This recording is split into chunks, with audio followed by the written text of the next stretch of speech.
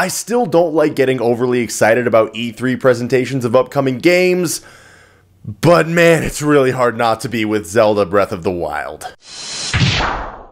The long awaited Zelda Wii U finally has an official subtitle, an official trailer, The Legend of Zelda Breath of the Wild. And having seen a little bit more of the gameplay and, known just how much this game has gone into it, I mean, this is a game that's been four and a half years in the making by the time it'll have released when you consider that entire life cycle of the Wii U. And you know, without a doubt, for a premier console that Nintendo would have released, a Zelda game was going to be in the mix. They took their sweet time with this one, but man, it looks pretty good so far. And honestly, going back to the whole thing about trying not to get excited about games at E3, having seen more of that gameplay and seen sort of what it's all about, at least on a basic level, and knowing that when it comes to the story and the puzzle and design aspects in general of Zelda games, Nintendo tends not to screw it up. So, with all that kind of being thrown into the pot, I feel like it's plenty of valid reasoning to indeed get pumped about this. I think one of the common themes that you're going to hear throughout things things like E3 every single year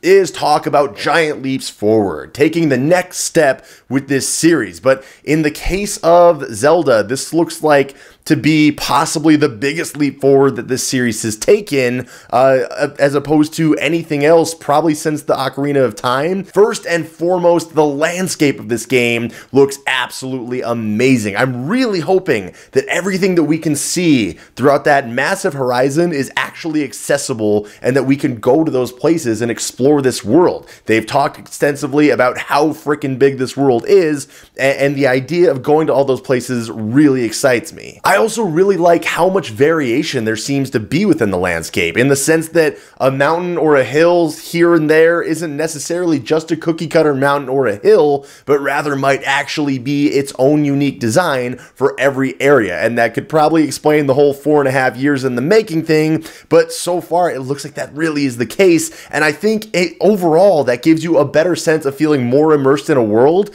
when nothing is necessarily familiar or repackaged parts of it placed somewhere else. You have to really get a- acquainted with this world and become familiar with it. And as you do, it becomes that much more memorable of an experience overall. One of the first thoughts I had about this all is that it looks like they took a lot of the climbing and exploration aspects of something like Assassin's Creed, along with a lot of the landscapes or rural areas from the likes of Red Dead Redemption or Grand Theft Auto, along with a Zelda story and Zelda puzzles and Zelda power ups. And it's really hard not to get excited for something like that, especially if they do it all well. And and I think that's probably going to be the case. Now it's hard to say that any one thing I could label as the thing that got me the most excited, but it, it looks like I'm going to be fully enabled to do some serious item hoarding in a Zelda game. There's there's going to be interchangeable armor or clothing and weapons and shields and consumable items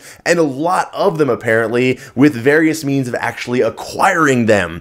And that that to me is arguably the biggest leap forward that this game is making within the Zelda series. Now, I know something like that isn't necessarily the kid-friendly, really simple, clean-cut type of thing that Zelda has normally gone with but maybe that's Nintendo in some way acknowledging that at least when it comes to Zelda, that audience has grown up in a lot of ways and we've adjusted to games where we have that customizability and we really enjoy it. And at least to some degree, we're getting that with Zelda Breath of the, of the Wild and and so far it looks pretty cool. I'm interested to see just how in depth it goes and if there's other things that you can, you know, add on to certain weapons to make them stronger, if you can add certain elements to them, that'll be really cool to see. I'm excited to see overall what they do with that and if you know something like the master sword is going to be the end all be all or i guess probably more than likely you'll find various ways to upgrade that uh, into becoming something more powerful by the end of it all. Anyway that's just a couple quick thoughts i had about this whole thing. The game while it has me excited also had me like